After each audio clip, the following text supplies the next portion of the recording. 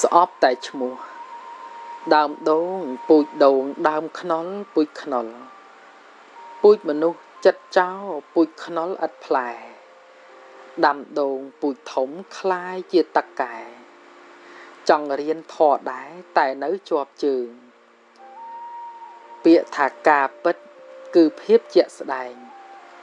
ទីណាមានផ្សែងតែងតែមានភ្លើងកាលណាដាច់គុល